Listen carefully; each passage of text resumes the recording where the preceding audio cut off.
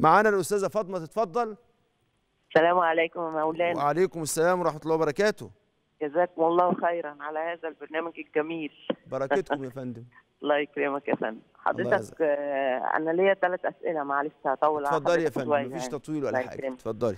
طيب دلوقتي لو آه، أنا يعني واحدة ست بشتغل يعني أنا مهندسة وبشتغل وزوجي يعني كان جاله ظروف فما قدرش يعني يعني تعب فما بقدرش يقدر يصرف يعني على البيت وكده. طيب. فأنا تكفلت بال- بالبيت كله بالولاد وكده يعني. ربنا يجعله في ميزان حسناتك.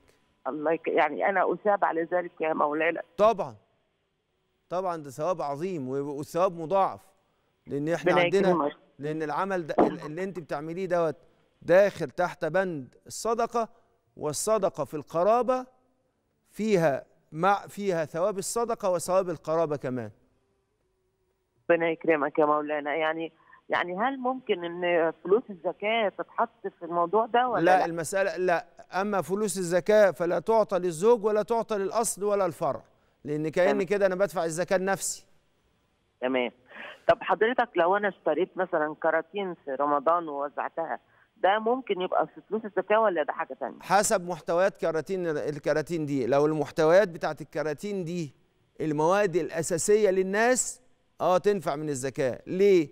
هقول لك لأن الزكاة لازم تعطى للفقير. سم- سمعت قوله تعالى في الكلام عن الزكاة إنما الصدقات لل لل للفقراء والمساكين. اللام دي معناها التمليك. يعني المفروض إن لو هي زكاة مال الفلوس دي يمسكها يملكها الفقير في إيديه. طيب إيه اللي يقوم مقام إن قبض الفقير للمال؟ اللي يقوم مقام قبض الفقير للمال إن أنا ادي له الأشياء الأساسية اللي هو ما بيستغناش عنها. ما يستغناش عن اللحم ما يستغناش عن الرز ما يستغناش عن العيش. الحاجات الأساسية ما يستغناش عن ما يصلح به الطعام زي الزيت زي السمن. الحاجات دي لو موجودة آه لكن هو ممكن يستغنى عن الفستق ممكن يستغنى عن عن الزبيب ممكن يستغنى عن عن جوز الهند. يبقى إذا كانت الكرتونة فيها المواد الأساسية يبقى خلاص يبقى ماشي. لكن لو فيها حاجات من قبيل الترف فلا. فدوت مش هينفع فيها. في سؤال تاني يا أستاذ فاطمة؟ ولا أستاذة فاطمة مع لسه معانا؟ معلش يا باشا الله يكرمك. يا مولانا أنا عايزاك تدعي لابني بس عشان هو تعبان. أس... آه، نسأل الله لا يعني نسألك ربنا يجمع له. بين تمام الأجر والعافية وإن شاء الله عافية عاجلة. ويكون يا رب. وتكون ويكون طلب العافية مضاعفا بمضاعفات بركات وخيرات هذا الشهر المبارك فيعجل حبيبي. له إن شاء الله فيأتيه بعافية عاجلة.